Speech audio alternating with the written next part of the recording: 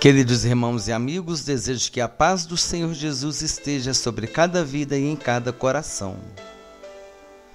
O canal Palavra de Vida apresenta analisando versículos bíblicos, Mateus capítulo 5, versículo 13. Leitura do texto bíblico. Vós sois o sal da terra. Ora, se o sal vier a ser insípido, como lhe restaurar o sabor? Para nada mais presta senão para, lançado fora, ser pisado pelos homens. E tem um, introdução. Este versículo se encontra no capítulo 5 do Evangelho de Mateus, logo no início do Sermão do Monte, conhecido também como Sermão da Montanha. Em determinado momento, Jesus disse aos discípulos que eles eram o sal da terra. Veremos no estudo de hoje como podemos extrair interessantes aprendizagens desse versículo, as quais poderão enriquecer nossas pregações e nossos estudos bíblicos, além de nos trazer edificação espiritual. Quando Jesus se referiu ao sal, não estava se referindo ao sal marinho, ou seja, ao sal proveniente do oceano. Jesus estava se referindo ao sal do Mar Morto, o qual também é chamado de Mar Salgado. Os israelitas extraíam o sal desse mar eles não precisavam extrair o sal das águas, porque na encosta do Mar Morto apareciam várias formações de sal. Quando eles buscavam o sal, quebravam e descartavam a camada exterior, porque estava cheia de sujeira e de impurezas, e aproveitavam somente a parte mais pura. O sal que estava com substâncias impuras perdia o sabor e era jogado fora e pisado.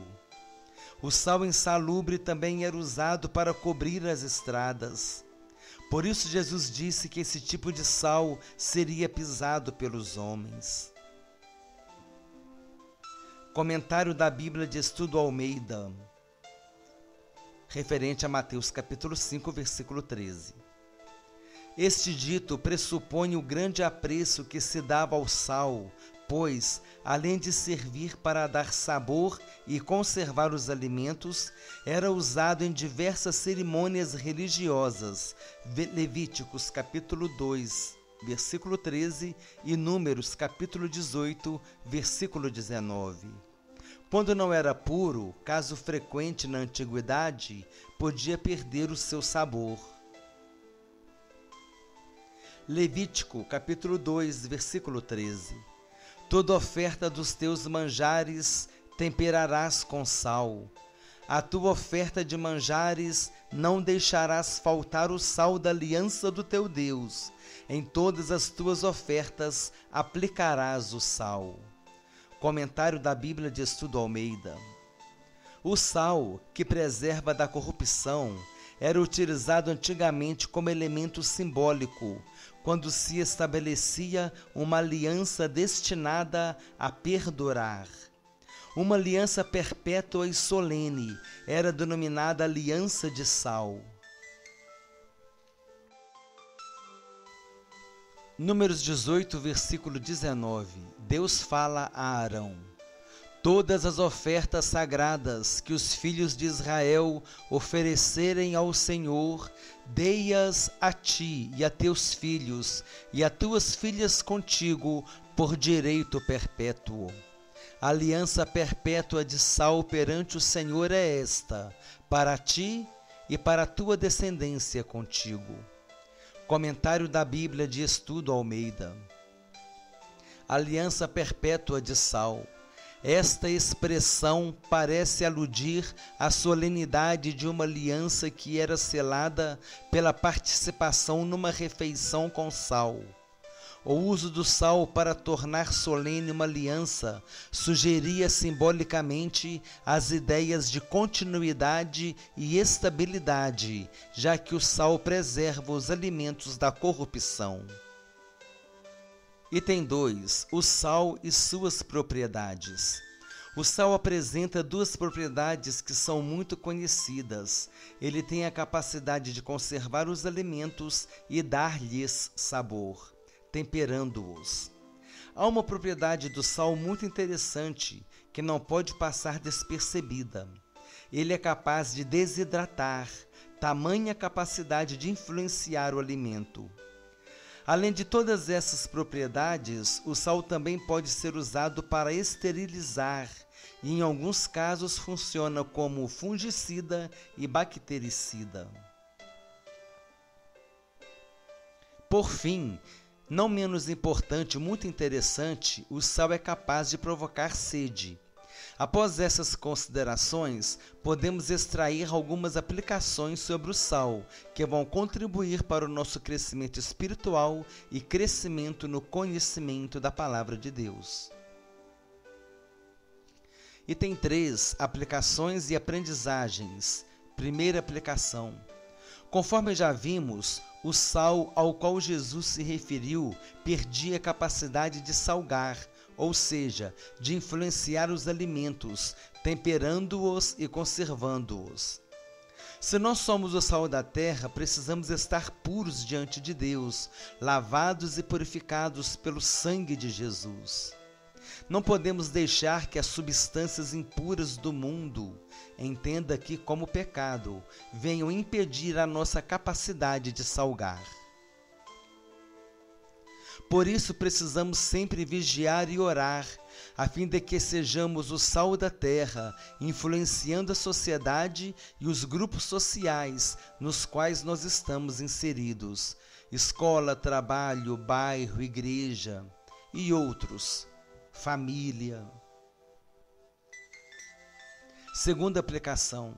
O sal influencia o alimento conservando-o, dando-lhe sabor, desidratando-o. Também provoca sede e é usado para esterilização. Nessa aplicação, nós vemos que o sal possui grande capacidade de ação nos alimentos. Da mesma forma que o sal conserva, dá sabor, desidrata, provoca sede e esteriliza, assim também Deus deseja que cada cristão seja sal no mundo, conservando o ambiente no qual vive, dando sabor por meio de palavras divinamente inspiradas que sejam capazes de desidratar os planos do diabo na vida das pessoas. Lembremos que o apóstolo Paulo nos aconselhou que nossas palavras devem ser temperadas com sal. O texto bíblico diz assim: A vossa palavra seja sempre agradável, temperada com sal, para saberdes como deveis responder a cada um.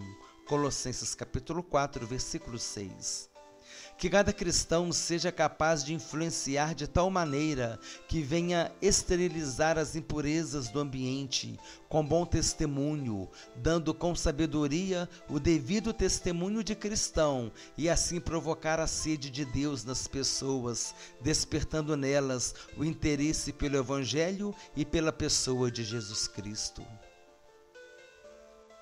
Terceira aplicação o sal pode perder o sabor quando está em contato com substâncias impuras e para nada mais servirá a não ser para ser lançado fora, para pavimentar estradas e ser pisado pelos homens.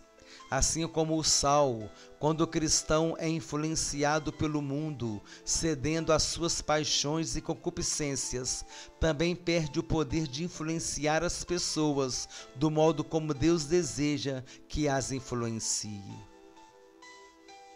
O apóstolo João nos ensinou em sua primeira epístola para não amarmos o mundo nem as coisas que há no mundo, pois se assim o fizermos, o amor de Deus não estará em nós. Na verdade, Deus deseja que influenciemos o mundo e não que sejamos influenciados por ele. Quando o cristão perde o poder de salgar, ou seja, de influenciar com o seu testemunho, com o seu modo de falar, com o seu modo de agir e de pensar, corre o sério risco de estar sendo influenciado pelas coisas que há no mundo. Quando o sal perde o sabor, é lançado fora e pisado pelos homens. Quando o cristão perde a capacidade de influenciar com o seu testemunho, uma vez que o mesmo não condiz com a postura de um cristão, é pisado pelas pessoas que o cercam por meio de zombarias, chacotas e piadinhas que têm como objetivo envergonhá-lo. Por isso precisamos ser sóbrios e vigilantes, sempre buscando a presença do Espírito Santo em nossas vidas, e assim não permitiremos que os valores do mundo ganhem espaço em nossas vidas e em nossos corações. Concluiremos o estudo com o seguinte versículo: Bom é o sal, mas se o sal vier a tornar-se insípido, como lhe restaurar o sabor? Tende sal em vós mesmos e paz uns com os outros. Marcos capítulo 9, versículo 50. O canal Palavra de Vida apresentou Analisando Versículos. Mateus capítulo 5, versículo 13. Vós sois o sal da terra. Desejo que Deus abençoe a todos abundantemente, em nome do Senhor Jesus Cristo.